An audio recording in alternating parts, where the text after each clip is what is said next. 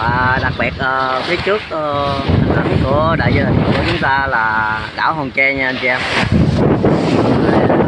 Do ảnh hưởng của bão và của gió mấy ngày qua và chiều cường thành ra cái ờ, mực nước ở gần ờ, ờ, Tông Thắng gần nhà hàng Tông Nhỏ anh chị em nước rất là lớn nha anh chị em không ờ, tạt vô bờ luôn anh chị em thấy không?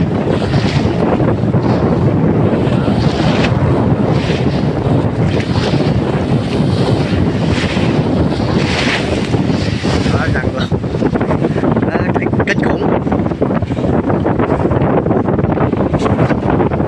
Đó,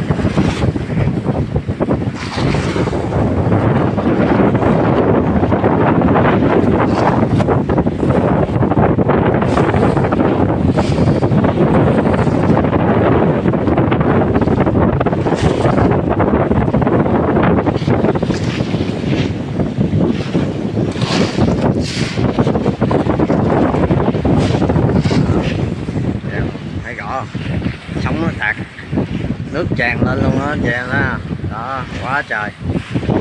Đó.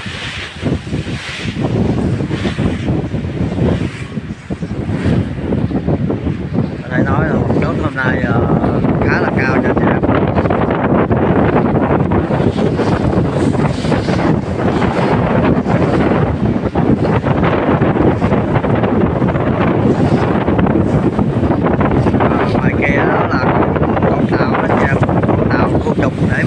cát vào trong cái dự án của đảo của Phú Gia đó đó. Đó. Của đó thì ờ, đợt trước đã chia sẻ với anh chị em rồi chị em không?